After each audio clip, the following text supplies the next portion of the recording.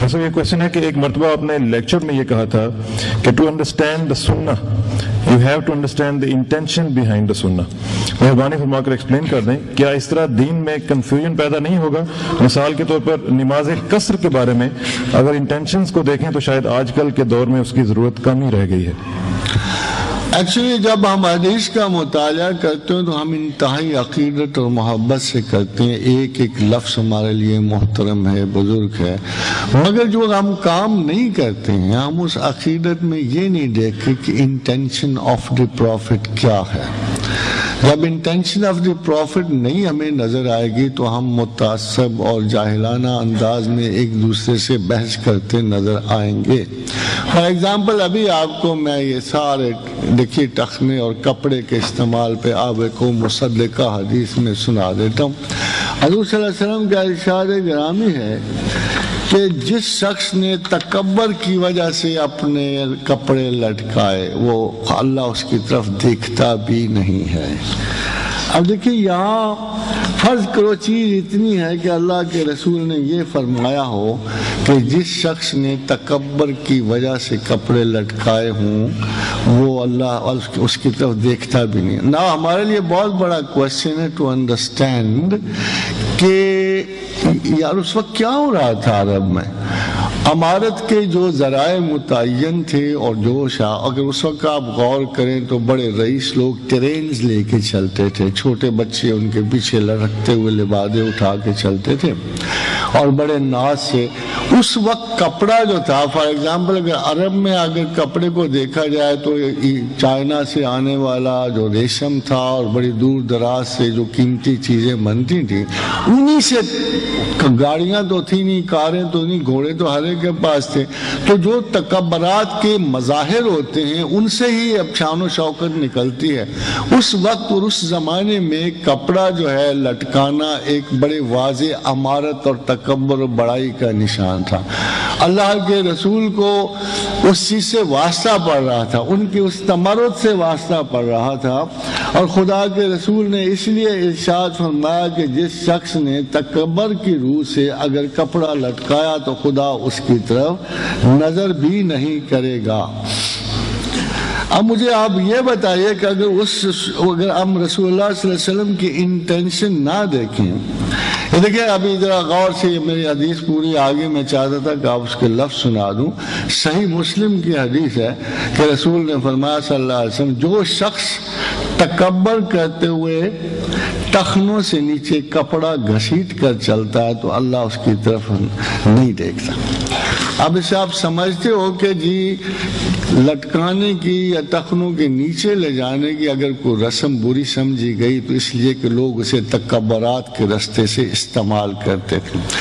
अब फ़र्ज़ करो, अगर उस पर कोई आलम उठ कर हर जमाने, हर वक्त के लिए ये फतवा लगा दे कि कपड़ों से नीचे टखनों से नीचे कपड़ा ले जाना ही तकबर है तो ये बड़ा गलत होगा it is not understanding the prophet properly for example आज मैं देखता हूँ कि जो मुझसे गरीब तर आदमी है, वो कपड़ा लटकाए चल रहा यानी आजकल कपड़ा इतना सस्ता हो गया है और इतना आला रेशमी कपड़ा it is in approach of the people के हो सकता है कि मेरी गली का खाकरूब जो है, वो नायलन के पहने हुए चल रहा हो।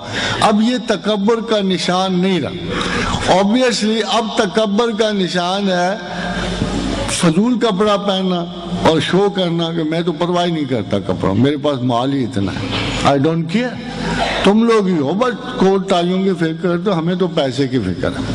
तो ये टेंडेंसी जब चेंज हो जाती है और माहौल बदल जाता है तो हमें देखना ये है कि जब तक हम intention of the saying of the profit नहीं समझेंगे जब हम किसी बात के पीछे मारफत, जहन रसूल नहीं पाएँगे तो हम उसी जगह स्टक हो जाएँगे जहाँ।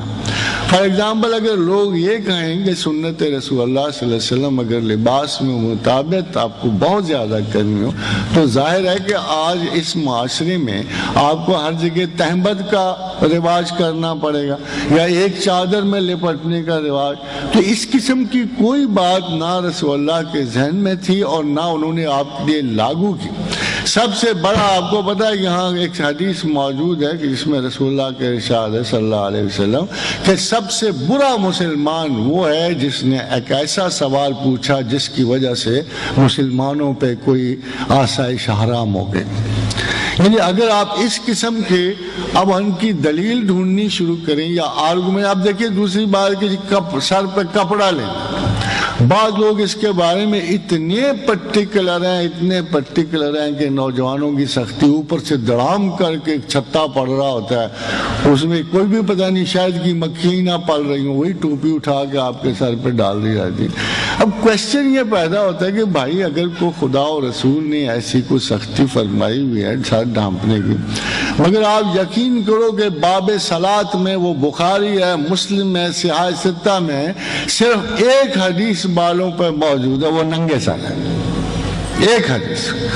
कि हजूर गिरामी मरतबत ने बाब सलाद में, बुखारी में, मुस्लिम में जो हदीस है, इसको हदीस मशर कहते हैं। फरमाया, मशर को छोड़ दो छोड़ दो। आप हैरान होंगे कि इस हदीस में बड़े थोड़े लफ्स हैं। यही फरमाया कि मशर को छोड़ दो। और हुआ क्या कि लोगों के सरों पे कपड़े नहीं होते थे, बेचारों के लंबे लंबे बाल होते थे। People can not would not be able to afford ये तो मुझे अमेरिका जाके एहसास हुआ कि लंबे बालों का राज क्या है। भाई, वहाँ आठ डॉलर कौन थे नाई को? तो मुझे पता लगा कि तो हम तो बिल्कुल गलत फहमी में पड़े हुए हैं कि लंबा डॉलर आपको बाल रखना वहाँ का फ़ैशन नहीं है। नाई बड़ा महँगा है वहाँ पर। उस चक्कर में जी हम भी उनकी नकल किए जाते हैं।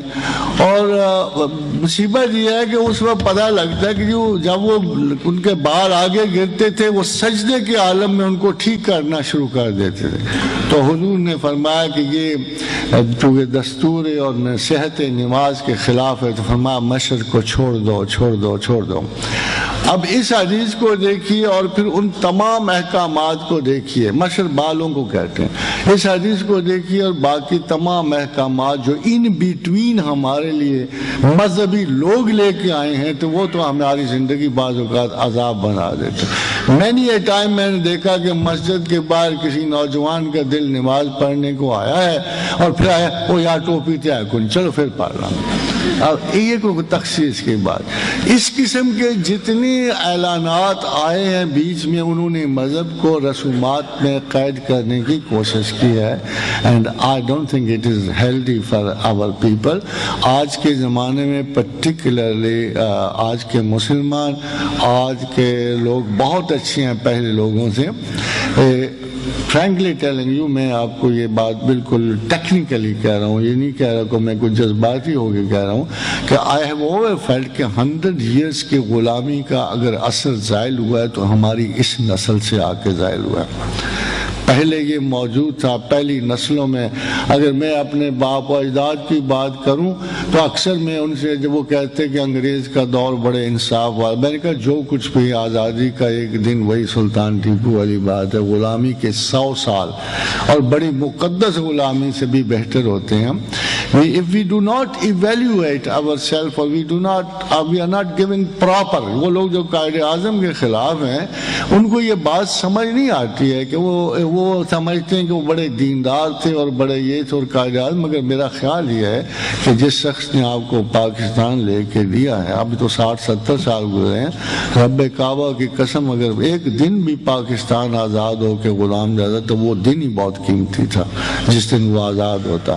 और आप इतनी बड़ी रहमत और नेमत से आपको कम अज़ कम पता तो लग जाता ना आज़ादी क्या है जो अब आपके नसीब में है और मुस्तकिल है।